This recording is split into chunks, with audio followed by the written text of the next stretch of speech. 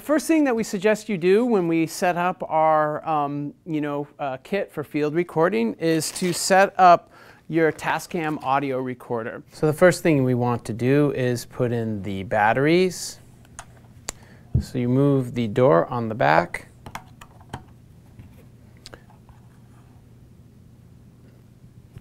Takes four AA batteries.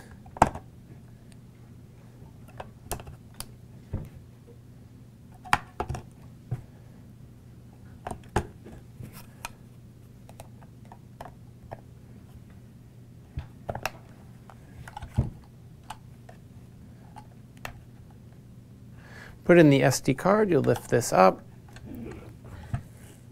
SD card will go in facing up like that. Okay, to power on, it's this button here. Hold it down. Okay. So enter sure you want to use phantom power. Okay, to format your card, you go in menu, scroll all the way down to others, system, and go to quick format, enter, enter again, and use this jog wheel and you press it in to enter it. This is say, you know, quick format, all data erased, are you sure?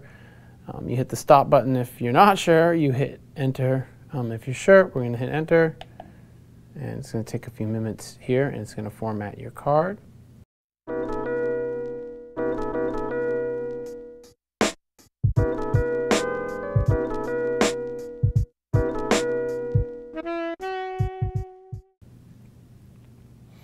Okay, and you press menu to go back levels in the menu. Now, um, Thing is, is that this hold button right here, um, right here, you want to make sure that this is not up. Um, you want to make sure that, you know, you don't want to see that red dot. You want to make sure that it's down. Um, if it's up, uh, you cannot adjust any controls or anything on the recorder. So you want to make sure that it's down. It also means you may not have any, any, any level, audio levels. Plug in the headphones. The headphone jack goes right in here. It's going to go right there. And then you have your levels here for your headphone jacks. Um, so this was where you set your levels. I would start at a level five or six. Um, again, this is for uh, what feels comfortable uh, for you in your headphones, not what is actually um, how loud your signal actually is. Okay. Typically plug in here and you're going to have the uh, three pins and they're going to go right in like that. To remove the XLR, you just simply press in this uh, silver button and it will allow you to remove the XLR cable. You can now turn this off, power this off, and we'll put it away uh, for a few minutes. Now, the way that it goes into the uh, field recorder bag is it will have this little pocket. The pocket is going to be front facing, and you want this um, uh, mount to go facing the, the pocket because you're going to want to be looking at this and having it face you. So you just open up the um, little flap here and you set the recorder in uh, just like that. Now the bag has um, little entrance compo uh, components on each side. So I'm just gonna pull this out. This is so that you can put cables in there. So on this side, you'll notice that there is uh, headphones or a phone. Um, this is your levels for your headphones. Um, and that's where you uh, put your headphone monitors in. On the other side is you'll have one and two. That's for your XLR or microphone um, cables. That, that's where those go. So we'll just put this in here like that, and we'll set it aside for now. The other thing that you can do now, uh, while you have that set up, is you can pull out your headphone monitors. Okay. These are Sony MDR 7506s. They are flat frequency response uh, headphones, so they don't color the sound. That is unlike some headphones that boost the bass frequencies, um, these actually replicate what you're hearing, which is, which is what you want in the field. So you simply take the eighth inch jack, you go through the side pocket and you put it into the phone input and that is all done and then you can close up that Velcro and that is set. Okay. Okay, so the next thing we want to do is we want to take out the boom pole. This is a telescoping boom pole. Most of our boom poles, uh, as you'll notice, have an internally uh, cabled uh, XLR cable that runs inside of the, of the boom pole, the male end being at the bottom and the female end being at the top.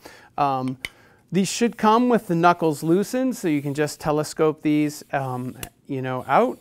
Um, and what these are called knuckles right here, and these are the telescoping rods. Um, and basically, you know, to loosen these, it should be a half turn um, one way to loosen and a half turn in the other way to tighten. So you extend this, and then you tighten the knuckle.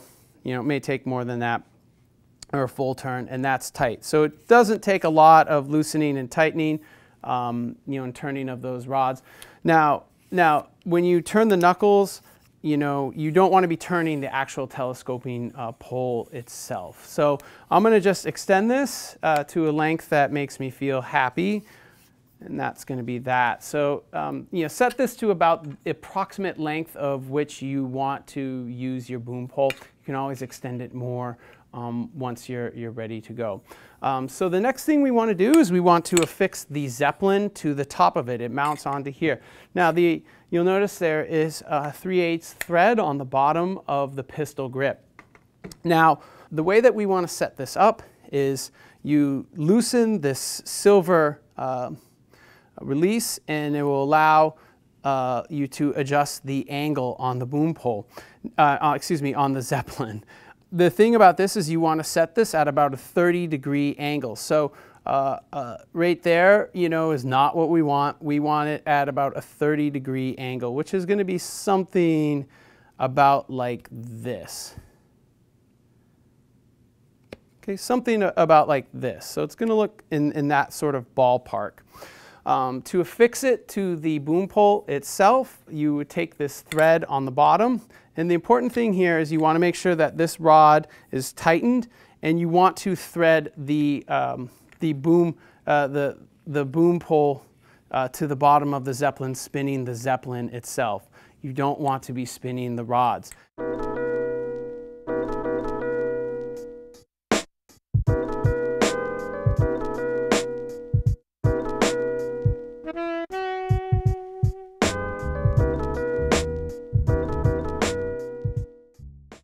After that, you connect this uh,